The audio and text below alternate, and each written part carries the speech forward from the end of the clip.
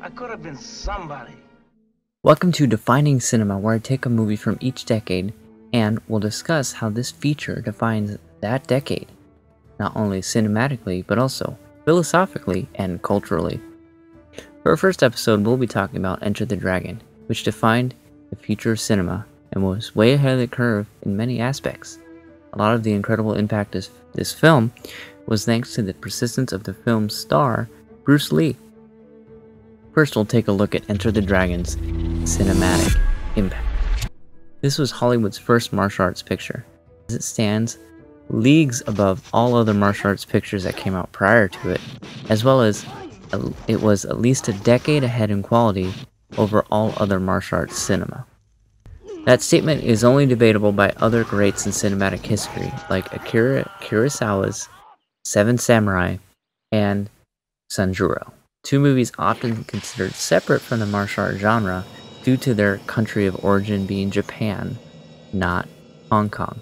Cinematically, Enter the Dragon stands apart from its Hong Kong counterparts because of its emphasis its producers and crew had on great filmmaking. Enter the Dragon had a great score, initially scored by Lalo Schifrin, the composer of the Mission Impossible soundtrack. Oh, don't hit that. Additionally, it has great cinematography, great editing, great sound design,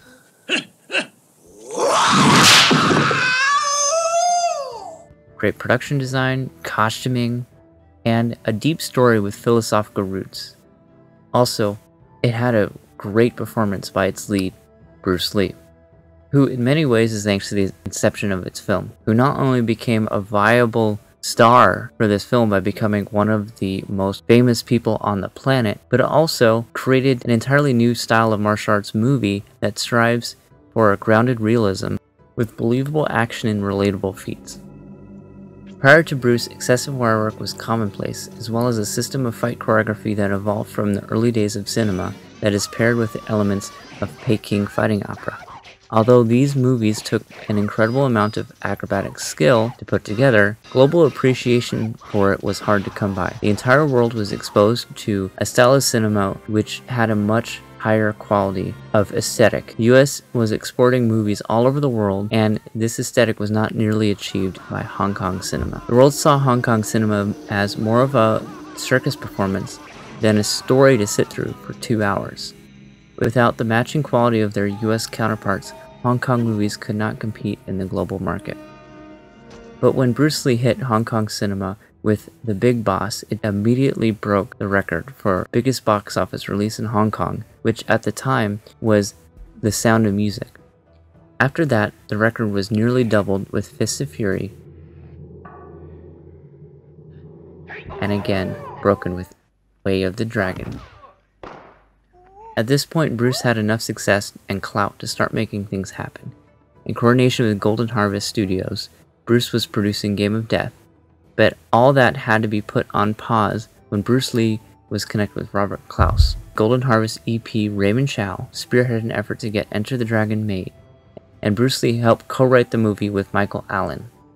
Enter the Dragon is truly an amalgamation of both Eastern and Western production styles, there was a big language barrier on set, and there was huge cultural differences in terms of the cinematic craft.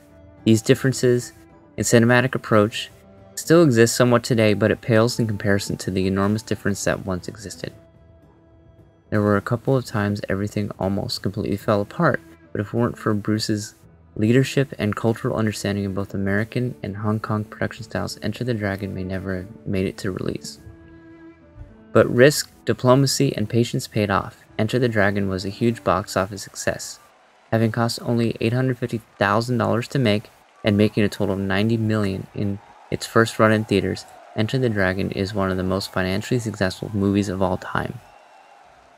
This, of course, exposed the West to martial arts for the first time, which led to a huge wave of kung fu movies that lasted nearly two decades in Hollywood. Sadly, a lot of what Hollywood wanted to do was imitate Bruce Lee. Producers believed it was Bruce Lee's mannerisms and physical strength that made it all work. So Hollywood and even Hong Kong made a lot of terrible attempts of cloning Bruce Lee, and things fell way short.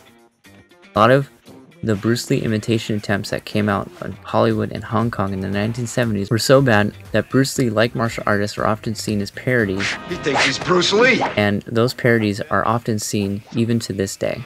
Daniel, wanna fight, huh? But that's really sad because what made Enter the Dragon an excellent picture wasn't its cinematic quality or even Bruce Lee's incredible prowess and intense personality, but there's an incredible amount of subtext and metaphorical content in Enter the Dragon that often gets overlooked by audiences and creators. If Bruce Lee hadn't passed away, he could have spent a lot more time educating the West of the true meaning of martial arts and expressed the importance of having a philosophical foundation in martial arts cinema. But luckily, there is another wonderful connection that was made in Enter the Dragon. One of Hong Kong's greatest action choreographers, Sammo Hung, was a coordinator in Enter the Dragon, and thanks to this, he brought action superstars Yuen Biao and, of course, Jackie Chan on board for this picture.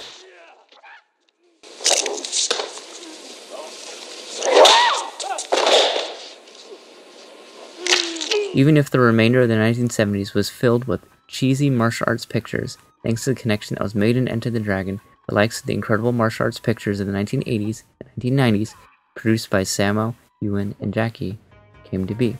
Of course, martial arts movies are now far from the hokey, chop socky pictures of the 1970s, but even with the gritty, realistic nature of modern day martial arts cinema, they still rarely touch the philosophical elements Bruce Lee wrote in Enter the Dragon. Which brings us to the next level of impact brought about by Enter the Dragon its philosophical impact.